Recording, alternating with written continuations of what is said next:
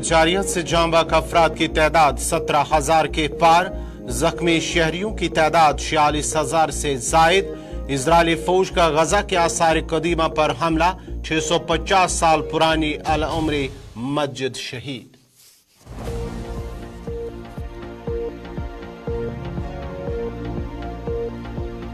गजा में जंगबंदी का मुतालबा करने वाली यूएन की करारदाद को अमरीका ने कर दिया वीटो। पंद्रह रुकनी काउंसिल में तेरह ममालिक ने करारदाद के हक में दिया वोट।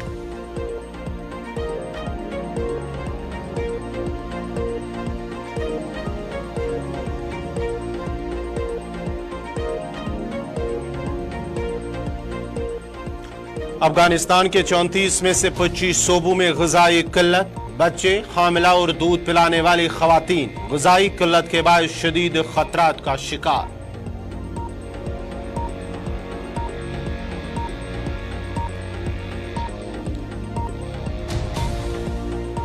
और सहारनपुर देवबंद शाहरा पर सड़क हादसा। हादसे में दो स्कूली बच्चों समेत चार अफराद जान मुतद जख्मी। कई जख्मियों की हालत नाजुक।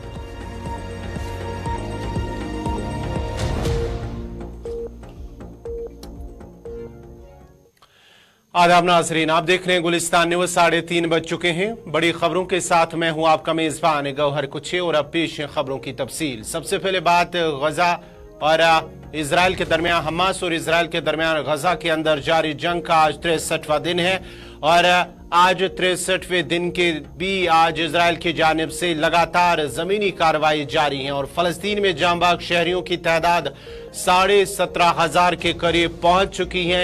फलस्तीनी वजारत सेहत की जानब से जारी बयान में बताया गया है कि गजा में सात अक्टूबर से अब तक सत्रह हज़ार चार सौ सतासी फलस्तीनी जामबाग हो चुके हैं और जामबाग होने वाले अफराद में सत्तर फ़ीसद तादाद खातन और बच्चों की है।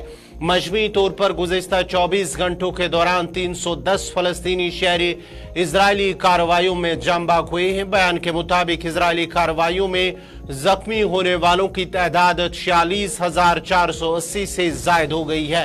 वजारत सेहत ने बताया है कि मुतद अफराद अभी भी तबाहशुदा इमारात के मलबे तले दबे हुए हैं। बयान के मुताबिक जनूबी गजा में मरीजों के लिए, इलाज के लिए जगह खत्म हो चुकी है और इस वक्त अस्पताल में बिस्तर दस्तियाब नहीं है। बयान में मजीद कहा गया है कि तिबी टीमों को मुश्किल का सामना है और बैन अवी इदारों को गजा के तिबी शोबे की बहाली के लिए मदद करनी चाहिए। इधर गजा में इसराइली फौज ने आसार कदीमा पर हमला करते हुए 650 साल पुरानी अल अमरी मस्जिद भी शहीद कर दी है।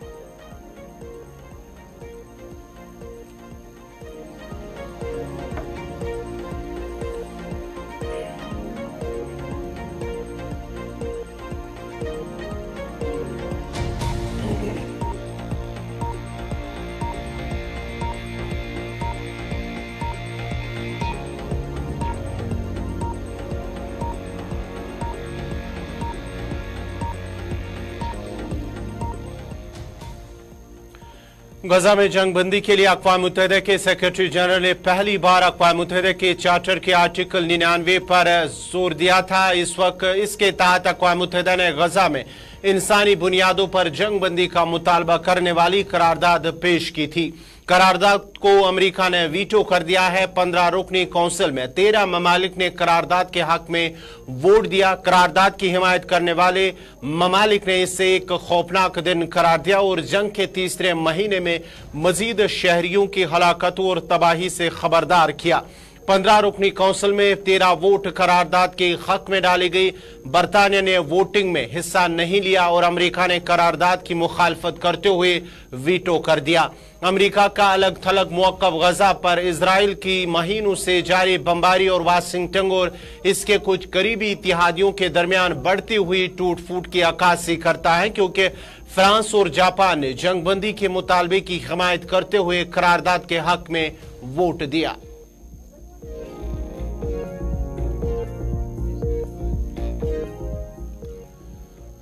उधर अफ़गानिस्तान में खुराक की शदीद किल्लत के बायस तालिबान रजीम दो साल से बैरूनी इमदाद की मोहताज है और मुल्क में पंद्रह अशारिया तीन मिलियन शहरियों को खौफ, खुराक की शदीद किल्लत का सामना है। एक रिपोर्ट के मुताबिक चौंतीस में से पच्चीस अफगान सोबू में गजाई किल्लत हंगामी हदूद को अबूर कर गई है इंसानी हकूक की तंजीमों को। महदूद तरक्याती इमदाद और गैर मुल्की हुकूमतों की तरफ़ से तालिबान को बाबा तौर पर तस्लीम न करने की वजह से चैलेंजेस का सामना है। अफ़गानिस्तान में तालिबान के इकतदाद में आते ही मुलाजमतों में कमी, नकद रकम की किल्लत और बढ़ती हुई कीमतों के साथ हालात शदीद खराब है। अफ़गानिस्तान की दो तिहाई आबादी जो कुल उनतीस अशारिया दो मिलियन है। तालिबान रिजीम में दो साल से बैरूनी इमदाद की मोहताज है। आलमी इमदाद इदारों की रिपोर्ट के मुताबिक तालिबान रिजीम में आधे से ज़्यादा पाँच साल से कम उम्र बच्चे, एक चौथाई हामिला और दूध पिलाने वाली खातन गजाई किल्लत के बाद शदीद खतरा का शिकार है। इंसानी हकूक की तंजीमों को महदूद तरक्याती इमदाद और गैर मुल्की हुकूमतों की तरफ़ से तालिबान को बाबा तौर पर तस्लीम न करने की वजह से चैलेंजेस का सामना है। 2023 का अफ़गानिस्तान ह्यूमैनिटेरियन रेस्पॉन्स प्लान तेईस अशरिया सात मिलियन अफराद तक पहुँचने के लिए चार अशरिया छह बिलियन डॉलर का जरूरतमंद है।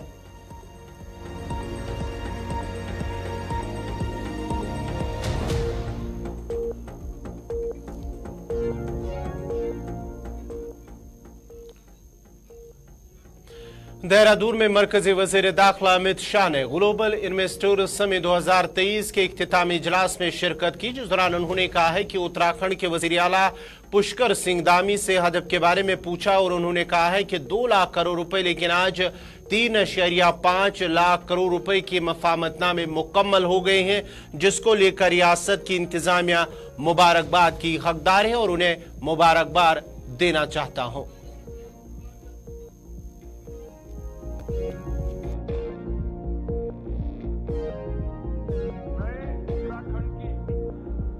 बोला, क्या लक्ष्य रखा है धामी जी आपने? तो उन्होंने कहा, दो लाख करोड़ का है। परंतु आज साढ़े तीन लाख करोड़ के एमओयू समाप्त हो चुके हैं। मैं धामी जी के नेतृत्व में समग्र उत्तराखंड के प्रशासन को बहुत बहुत शुभकामनाएँ देना चाहता हूँ और बधाई देना चाहता हूँ। मित्रों, आज का यह समारोह साढ़े तीन लाख करोड़ के एमओयू के साथ नए उत्तराखंड की अनंत संभावनाओं को तराशने की शुरुआत।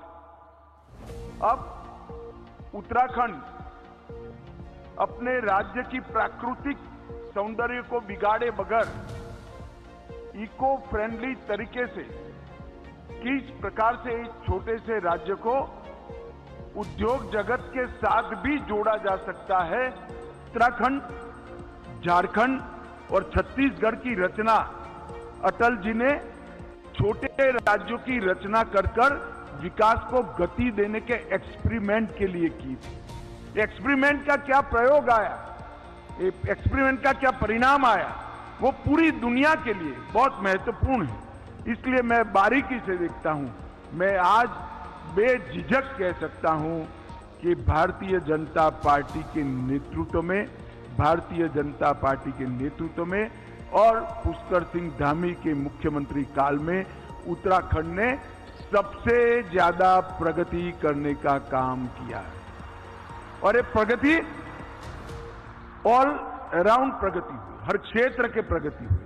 कई प्रकार के नए नए इनिशिएटिव चाहे भारत की सीमाओं पर खाली होती गाँव, पलायन इसको रोकने के लिए इनिशिएटिव लेना हो।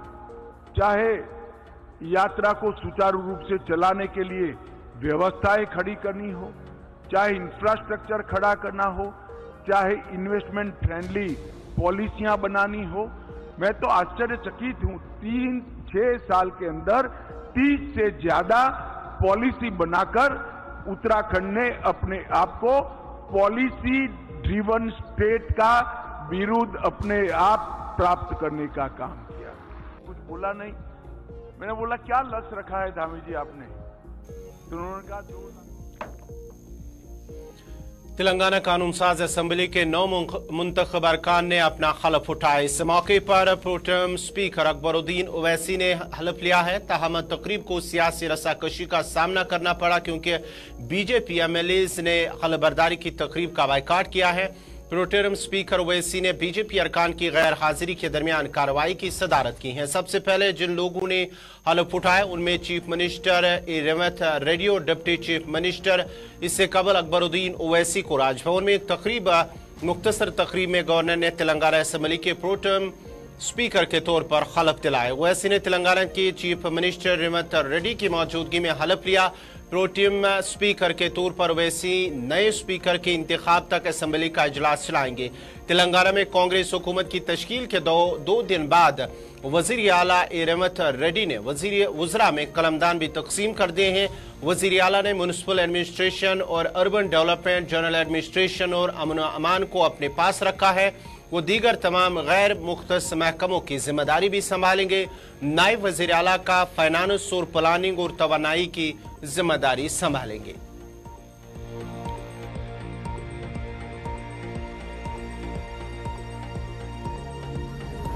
తెలంగాణ శాసనసభ సభ్యుడినైన పొన్నం ప్రభాకర్ అనే నేను సభా నియమాలకు కట్టుబడి ఉంటానని వాటిని అనుసరిస్తానని సభా మర్యాదలు పాటిస్తానని సాంప్రదాయాలను గౌరవిస్తానని భగవంతుడి సాక్షిగా ప్రతిజ్ఞ చేస్తా ఉన్నాను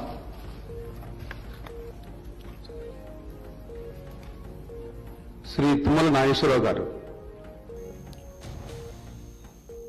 मरकजी वजीर अनुराग ठाकुर ने कहा है कि कांग्रेस एमपी के अहाते पर छापों में 220 करोड़ रुपए से ज्यादा की रकम कई कमरों से मिली है बैंकों के 32 मुलाजमीन भी नकदे गिनने में कम थे कांग्रेस के एक बदनुमान एमपी से बरामद की गई रकम कांग्रेस बदनुमानी की जाय पैदाश है कांग्रेस के सांसद पर जो छापे पड़े, अगर आप देखिए उनके और उनके नज़दीकियों के पास 220 करोड़ से ज़्यादा का धन नोटों की गड्डियाँ नौ अलमारियों से लेकर कई कमरों तक भरी पड़ी मिली हैं। मशीनें हाफ़ गई, मशीनें गर्म हो गई 32 बैंक के अधिकारी भी कम पड़ गए लेकिन नोटों की गड्डियाँ खत्म नहीं हुई। ये कांग्रेस कांग्रेस के एक भ्रष्ट एमपी से इतना पैसा मिला है। और कांग्रेस तो भ्रष्टाचार की जननी है। नेहरू जी के समय से लेकर राजीव जी, इंदिरा जी और फिर सोनिया जी और राहुल जी तक कांग्रेस के भ्रष्टाचार की चर्चा देश और दुनिया में है। अगस्ता वेस्टलैंड से लेकर एजीएल तक ये इनके भ्रष्टाचार के मामले, बोफोर से लेकर जीप घोटाले तक ये नेहरू गांधी परिवार और कांग्रेस पार्टी के भ्रष्टाचार के चर्चे लगातार बाहर आते हैं। और अब इनके सांसद साहू के यहाँ से 220 करोड़ से ज़्यादा पैसा उनके और उनके सहयोगियों से मिलना, ये अपने आप में दिखाता है कि काले धन के खिलाफ और जब नोटबंदी की थी तो कांग्रेस क्यों तड़पती थी? क्योंकि झारखंड के राज्यसभा एमपी धीरज साहू के खिलाफ मुबैना बदनमानी मामले के खिलाफ आगरा में भाजपा लीडर ने एहतजाज किया। एहतजाज में भारतीय जनता पार्टी के एमएलए समेत सैकड़ों कारकुन मौजूद थे। बीजेपी कारकुन ने कांग्रेस के कई घोटालों और बदनवानी का ज़िक्र किया। झारखंड में राज्यसभा मेंबर के दस मकाम पर छापे मारे गए हैं। महकमे इनकम टैक्स ने छापे के दौरान तकरीबन दो सौ बीस करोड़ रुपए जब्त किए हैं। मैं निवेदन कर रहा हूँ देखिए, राज्यसभा सांसद कांग्रेस, धर्मेंद्र साहू। इनकम टैक्स ने बड़ी कार्रवाई में और जो कि अभी भी चल रही है। 200 करोड़ नगद उनके कमरों में भरे हुए मिले हैं। आप यहाँ पर जो राष्ट्रीय, जो नेता कांग्रेस के राहुल गांधी जी जो अगुवाई करते हैं वो फटा हुआ कुर्ता, फटी हुई जेब अपनी दिखाते हैं। और जनता का, जनार्दन का या तो मज़ाक बनाते हैं। सबको मालूम है कि कांग्रेस में उनके परिवार में ही राष्ट्रीय अध्यक्ष प्रधानमंत्री बनते हुए आए। और वैसे ही कांग्रेस का हर नेता भ्रष्टाचार में लिप्त जब कांग्रेस की सरकार थी तो विश्व के अंदर देश की विकसित भारत संकल्प यात्रा के बारे में मरकजी वज़ीर अनुराग ठाकुर का कहना है कि वज़ीर अजम नरेंद्र मोदी ने मुल्क में गरीबों की तरक्की के लिए मुतद स्कीमें शुरू की है। मुल्क की दो लाख उनहत्तर हज़ार पंचायतों और तकरीबन चार हज़ार एक सौ शहरी बल्दियाती इदारों में ये विकसित भारत संकल्प यात्रा लोगों को बेदार करने के लिए लिए गए हैं ताकि वो इस्तेफादा हासिल कर सके। ये लोगों को दो हज़ार सैंतालीस से पहले हिंदुस्तान को एक तरक्की याफ्ता मुल्क बनाने का अहद लेने की तरगीब देगी। नरेंद्र गरीबों के कल्याण के लिए और विकास, देश के विकास के लिए अनेकों योजनाएँ चलाई गई, जिसके कारण पिछले नौ वर्षों में चार करोड़ पक्के मकान, बारह करोड़ शौचालय, तेरह करोड़ घरों को नल से जल, हर घर, हर गाँव तक बिजली पहुँचाने का कार्य, साठ करोड़ लोगों को पाँच लाख का इलाज बिल्कुल मुफ़्त में मिलना और अस्सी करोड़ लोगों को मुफ़्त में अनाज देना और मुफ़्त वैक्सीन जैसी योजनाएँ आज देश में चल रही हैं। जो बाकी लोग हैं जो लाभार्थी हो सकते हैं उन तक इसकी जानकारी भी पहुंचाई जाए और देश भर के लोगों को इससे अवगत भी करवाया जाए। इसलिए देश की दो लाख उनहत्तर हज़ार पंचायतों में और लगभग 4,100 अर्बन लोकल बॉडीज में ये विकसित भारत संकल्प यात्रा जाएगी और देश के लोगों में एक विश्वास और देश के लोगों को एक प्रतिज्ञा लेने के लिए प्रेरित करेगी कि दो से पहले हम भारत को एक विकसित देश बनाएँगे। हर भारतीय उसमें अपनी अहम भूमिका निभाएगा। एक और गरीबों का कल्याण राजस्थान कांग्रेस की इंचार्ज सखजिंदर सिंह रंधावा ने एक प्रेस कॉन्फ्रेंस के दौरान जहाँ राजस्थान के हाल इंतबी नतज पर मायूसी का इजहार किया, वहीं उन्होंने कहा है कि कांग्रेस अपनी कोताहियों को दूर करने की कोशिश करेंगे और उन पर काम करेंगे और आइंदा लोकसभा इंतबात मुद होकर लड़ेंगे। बहुत कई कैंडिडेट्स हमारे बहुत कम वोटों पर हारे। ऐसे कैंडिडेट भी हैं जो 1500 से भी कम हैं। उनके सबके ऊपर चर्चा हुई और साथ ही हमने आज से ही उनको बोल दिया है कि हम पार्लियामेंट की तैयारी करेंगे और जहाँ जहाँ कोई हमें खामियाँ रहेगी, कमियाँ थी, उनको हम पूरा करके और एकजुट होकर इलेक्शन जो है लड़ेंगे। और पिछली जो इलेक्शन है, वो भी आप देख रहे हैं कि पूरी कांग्रेस एकजुट थी और एक आवाज़ में पूरी कांग्रेस ने वहाँ इलेक्शन लड़ी। हमारा जो बूथ लेवल का या मंडल अध्यक्ष थे, या दूसरे ब्लॉक प्रेसिडेंट, डिस्ट्रिक्ट प्रेसिडेंट, उन्होंने खूब काम किया कांग्रेस के वर्कर्स ने। उनके लिए उनको भी धन्यवाद मैं करता हूँ, और जो हमारे लीडर्स साहबान हैं, इन्होंने भी आज कहा है कि जो पार्लियामेंट है, उसका आज से ही तैयारी करनी चाहिए, और हमें फाइट करनी है, और लोगों को बताना है कि हम जीत कर आएँगे।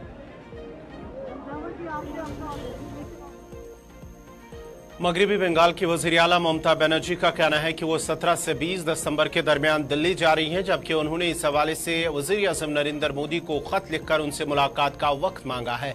उन्होंने कहा कि मगरबी बंगाल की हुकूमत को मुख्तलिफ़ मरकजी स्कीमों के लिए जेर अल्तवा फंड नहीं मिले हैं। अगर हर रियासत को अपना हिस्सा मिल रहा है, पैसे तो हमें क्यों नहीं मिल रहे हैं? दिल्ली जा रहा हूँ इसी के लिए कि एटीन नाइनटीन एंड ट्वेंटी के मैं एनी डे प्राइम मिनिस्टर को लेटर लिख के टाइम मांगा कि हम, हमारा साथ फ्यू एम को लेके हम मीट करने चाहती हूँ कि हमारा 100 दिन का काम का रुपया नहीं दिया है और 100 दिन का काम पे जो काम किया है, उसका रुपया भी नहीं दिया गया है। और हमारा एक लाख फिफ्टीन थाउज़ेंड मनी हमारा रुक के रखा है। हेल्थ में भी टाका रुपया देना, हमारा शेयर देना बंद कर दिया है। हमारा बांग्ला बाड़ी करने के लिए जो शेयर था, हमारा वो भी बंद कर दिया। हमारा ग्रामीण रास्ता का भी शेयर बंद कर दिया। हॉस्पिटल का शेयर जो हेल्थ का भी मिलता है हमारा, जो हमारा शेयर से, मेरे को उसका रुपया नहीं चाहिए। लेकिन हमारा जो शेयर है हॉट स्टेट का अगर मिलता है तो हमारा क्यों नहीं मिलेगा? इसी के लिए हमने टाइम मांगा। अगर टाइम देते हैं तो ठीक है, लेकिन हम तो ज़रूर जाएँगे।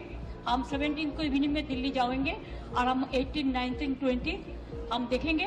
अगर टाइम मिलेगा तो ठीक है नहीं तो हमारा जो करना है हम तो करेंगे দিদি চা বাগান নিয়ে একটু বলবেন দা- দিদি এই যে চা বাগানের এখানে শিলিগুড়ি মহকুমা জুড়ে অনেক চা বাগান রয়েছে সেই চা বাগানে শিশুরা ট্রাক্টর ও ট্রাকে করে স্কুলে যাচ্ছে তারা চাইছে স্কুল বাস দিতে একটু যদি বলেন আমি তো জানি না তুমি এক্ষুনি কোয়েশ্চেন করলে এক্ষুনি উত্তর হবে তুমি বলেছো আমি এটা নোট করলাম मैं दिल्ली जा रहा हूँ इसी के लिए कि एटीन नाइनटीन और ट्वेंटी के मैं एनी डे प्राइम मिनिस्टर को लेटर लिख के टाइम इन दिनों मुल्क भर में शादियों का सीज़न चल रहा है। कुछ शादियाँ हो रही हैं जो मौजूद बहस बन रही हैं। ऐसी एक शादी गंगो इलाके के गाँव बिलासपुर में हुई है। इस शादी के चर्चे भी चारों तरफ़ से सुनने को मिल रहे हैं। आज जैसे ही पानीपत का रहने वाला दूल्हा नीरज शादी की बारात के साथ बिलासपुर पहुँचा तो उस शादी को देखने के लिए लोगों में जोश खरोश देखने में आया है। हालाँकि ये शादी बड़ी सादगी के साथ अंजाम पाई गई, लेकिन जैसे ही शादी की रसूमात खत्म हुई और दूल्हा दुल्हन जाने लगे तो उनकी अलविदी, अलविदाई देखने के लिए एक बहुत बड़ा हजूम जमा हो गया। आपको बता दें कि बिलासपुर के रिहायशी राकेश पंचाल ने अपनी बेटी पूजा की शादी आज पानीपत के रहने वाले नीरज पंचाल से कराई। ये शादी बगैर किसी जहेज के हुई और दूल्हे की जानब से जहेज में सिर्फ़ एक रुपया लेकर सुर्खियाँ बन गई। इस शादी की सबसे खास बात यह थी कि दूल्हा नीरज पंचाल अपनी बीवी पूजा के साथ हेलीकॉप्टर में रवाना हुए। जैसे ही हेलीकॉप्टर गाँव में बने हेलीपैड पर उतरा, लोगों की भीड़ जमा हो गई। हर कोई दूल्हा और दुल्हन की अलविदाई तकरीब को देखने के लिए बड़ी तादाद में जमा हुए और लोग इस अलविदाई तकरीब, इस अलविदाई मंजर को अपने कैमरों में कैद करते भी नज़र आए।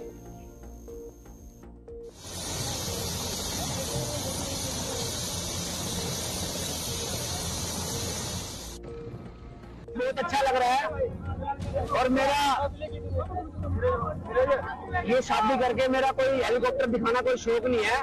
मेरा शादी कराने का ये है कि हर आदमी की एक सोच बदलने के लिए पैसा, दान देज की कोई मोल नहीं होता। और मैं, मेरा सपना था कि मैं ऐसी जगह शादी करूँ जहाँ मुझे दान और देज की ज़रूरत नहीं है। मैंने एक रुपए की शादी करी है और ये, अगर आज ये हेलीकॉप्टर आया तो पूरे प्रशासन का पूरे अमले जमले का यहाँ के विधायक का यहाँ के एमपी का यहाँ के प्रधान का और गाँव के लोगों का बहुत बहुत धन्यवाद करना चाहता हूँ। तो इस परमिशन में मेरा पूरा सपोर्ट दिया।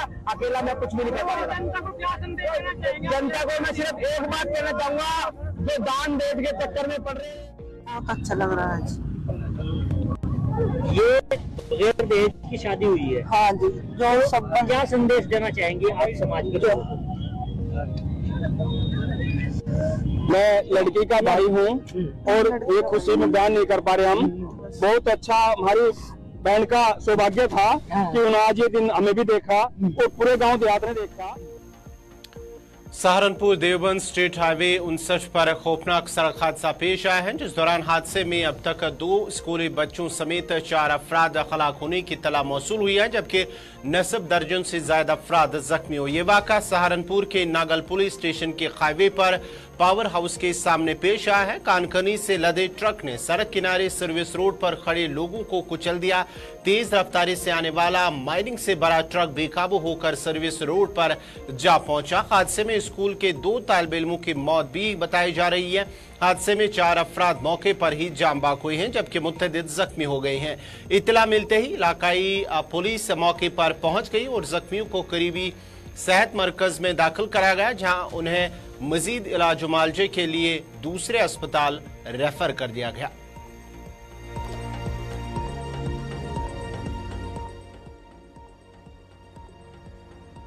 इतना ही, अपने मेजबान गौहर कुछ को इजाज़त दीजिए। अल्लाह हाफिज।